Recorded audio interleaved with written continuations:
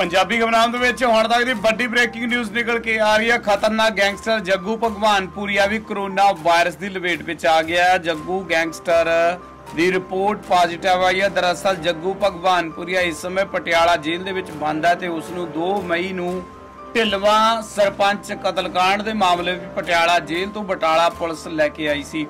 ਇਸ ਦੌਰਾਨ ਉਸ ਦੇ ਕਰੋਨਾ ਜਾਂਚ ਲਈ ਸੈਂਪਲ ਲਏ ਗਏ ਸਨ, ਜਿਨ੍ਹਾਂ ਦੀ ਰਿਪੋਰਟ ਅੱਜ ਪੋਜ਼ਿਟਿਵ ਨਿਕਲ ਕੇ ਆਈ ਹੈ। ਜੱਗੂ ਭਗਵਾਨਪੁਰੀ ਦੀ ਰਿਪੋਰਟ ਪੋਜ਼ਿਟਿਵ ਆਉਣ ਤੋਂ ਬਾਅਦ ਹੜਕੰਪ ਮਚ ਗਿਆ ਦਰਅਸਲ, ਅੱਜ ਗੁਰਦਾਸਪੁਰ ਵਿੱਚ ਕਰੋਨਾ ਵਾਇਰਸ ਦਾ ਵੱਡਾ ਧਮਾਕਾ ਹੋਇਆ ਤੇ ਇੱਥੇ 42 ਹੋਰ ਨਵੇਂ ਕਰੋਨਾ ਵਾਇਰਸ ਪੋਜ਼ਿਟਿਵ ਆਏ ਨੇ, ਜਿਨ੍ਹਾਂ ਵਿੱਚੋਂ ਜੱਗੂ ਭਗਵਾਨਪੁਰੀ ਦੀ ਰਿਪੋਰਟ ਵੀ ਆਈ ਹੈ।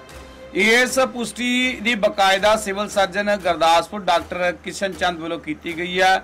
ਜ਼ਿਲ੍ਹਾ ਗੁਰਦਾਸਪੁਰ ਵਿੱਚ ਕਰੋਨਾ ਪਾਜ਼ਿਟਿਵ ਮਰੀਜ਼ਾਂ ਦੀ ਗਿਣਤੀ ਕੁੱਲ 77 ਹੋ ਗਈ ਹੈ, ਜਦੋਂ ਕਿ ਇੱਕ ਮਰੀਜ਼ ਦੀ ਮੌਤ ਪਹਿਲਾਂ ਹੀ ਹੋ ਚੁੱਕੀ ਹੈ। ਇੱਥੇ ਵੱਡਾ ਸਵਾਲ ਇਹ ਖੜਾ ਹੁੰਦਾ ਹੈ ਕਿ ਹੁਣ ਜਦੋਂ ਪੂਰੀ ਦੁਨੀਆ ਕਰੋਨਾ ਵਾਇਰਸ ਦੀ ਲਪੇਟ ਵਿੱਚ ਆ ਤਾਂ ਦੇਸ਼ ਵਿੱਚ ਜ਼ਿਆਦਾਤਰ ਕੇਸਾਂ ਦੀ ਸੁਣਵਾਈ ਵੀਡੀਓ ਕਾਨਫਰੰਸਿੰਗ ਰਾਹੀਂ ਕੀਤੀ ਜਾ ਰਹੀ ਹੈ, ਤਾਂ ਅਜਿਹੇ ਵਿੱਚ ਜੱਗੂ ਨੂੰ ਜੇਲ੍ਹ ਤੋਂ ਬਾਹਰ ਕਿਉਂ ਲਿਆਂਦਾ ਗਿਆ? ਜੱਗੂ ਦੀ ਰਿਪੋਰਟ ਪਾਰਟੀ ਆਉਣ ਤੋਂ ਬਾਅਦ ਪਟਿਆਲਾ ਜੇਲ੍ਹ ਪ੍ਰਸ਼ਾਸਨ ਲਈ ਖਤਰੇ ਦੀ ਘੰਟੀ ਵੱਜ ਗਈ ਹੈ।